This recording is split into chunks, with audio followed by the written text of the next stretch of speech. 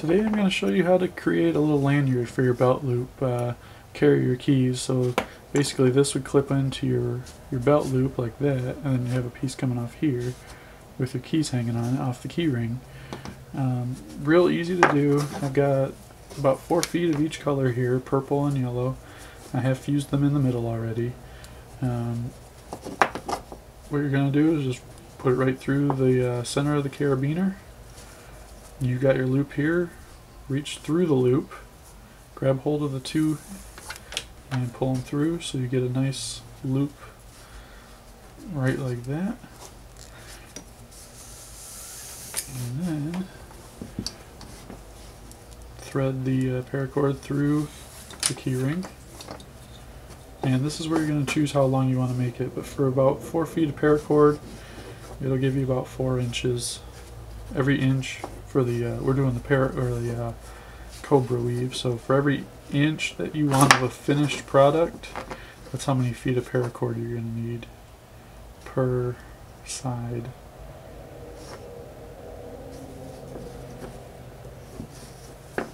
Okay.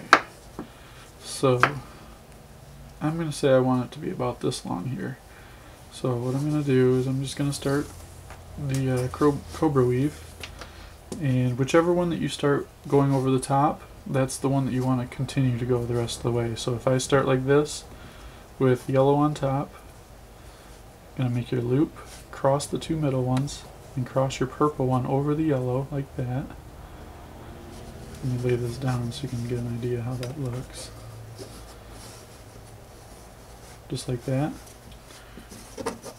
And then take the purple go behind all three and pull it up through that loop like that and pull it tight.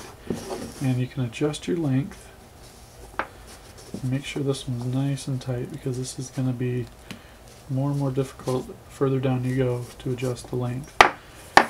Alright so we did yellow on top so we're just going to continue to do yellow on top.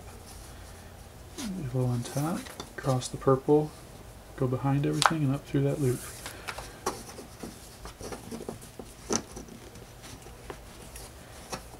Yellow on top, purple crosses behind, through the loop, pull it nice and tight.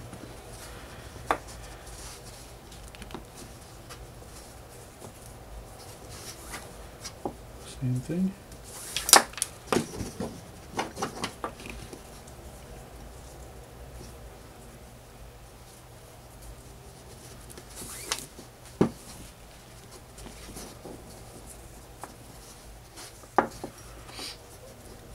So the two colors of paracord I have here, these are both 100 foot uh, sections.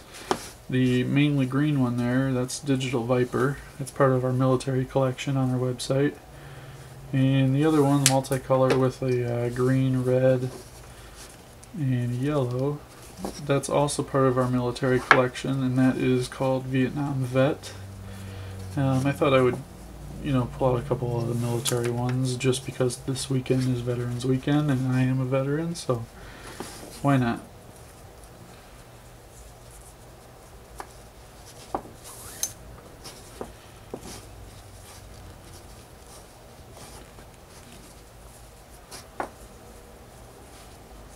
Now the uh, the carabiner and the uh, the keychain, those are two items that I, I do plan on putting on the website.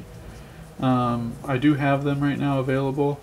I just haven't gotten around to taking pictures and getting them up there yet.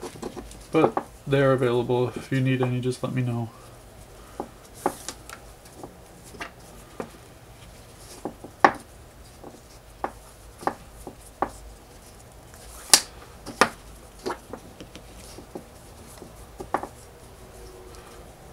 Gets to be a little bit harder and harder as further down you get just because you run out of room.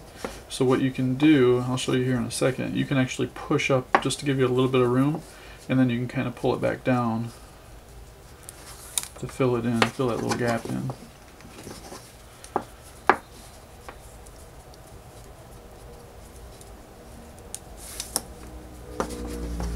Yeah, see like that. Now if I take and I hold hold the carabiner, I can push up and it kind of gives me a little more room.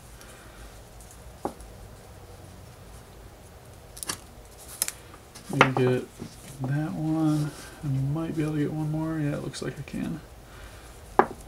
You want to fill it up as much as you can. It just looks better if there's not, you know, two strands sticking out and then the beginning of the, the paracord bracelet part. Or in this case, the lanyard. Alright, so now that we got that, then you can kind of pull this down a little bit to fill it all in.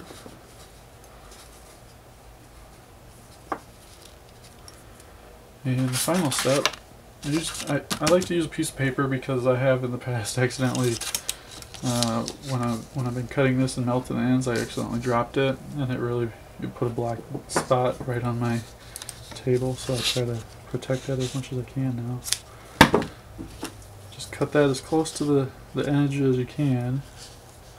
A little bit of hangover isn't too much. Or isn't too bad, I should say. And you're going to want to use the low part of the flame so that you don't burn the paracord.